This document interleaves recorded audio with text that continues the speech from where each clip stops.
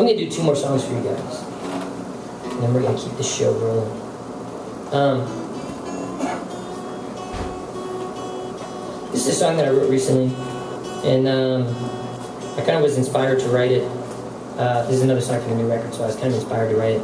Um, because there's a there's a funeral home right close to my house called Calhoun Funeral, and uh, you know I'm like looking to all these local businesses, uh, mainly the older businesses in town, and kind of pulling from pulling from uh, you know uh, that kind of world to write my songs. So this is kind of I wrote this kind of from the perspective of like a funeral attendant, maybe a mortician, or something like that.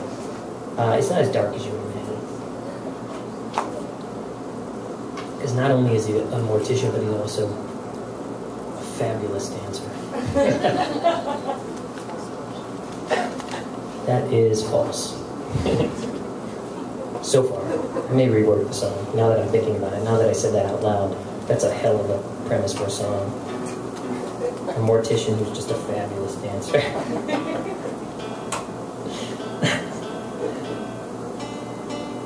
I don't have a name for this song yet.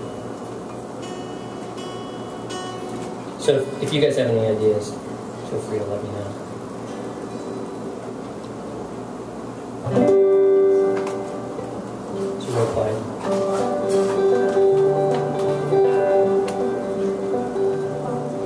Nice and close.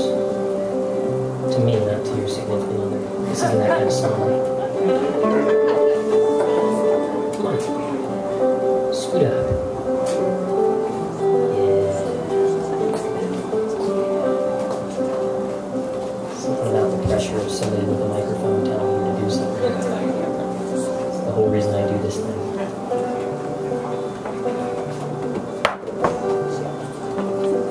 When I feel sad, I imagine my funeral.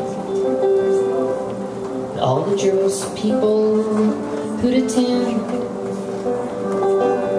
My family would give lots of notice.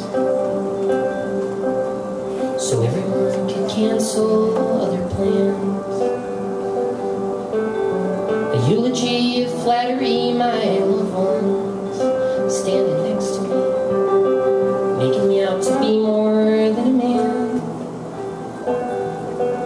They paint me to perfection, making all the right corrections, till I would look exactly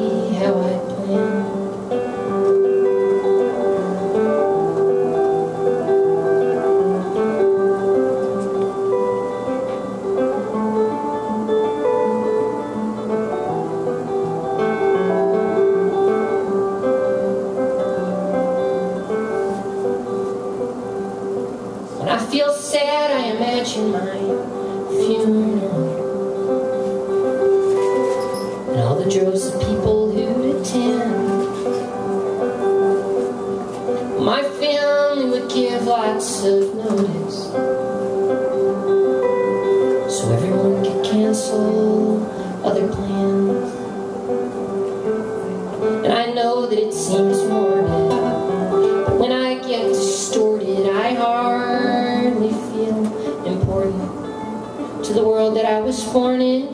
into.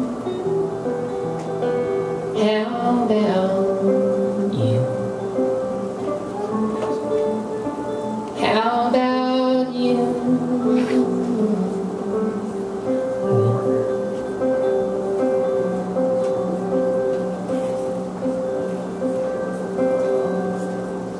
I feel sad, I imagine funeral. Of people attend.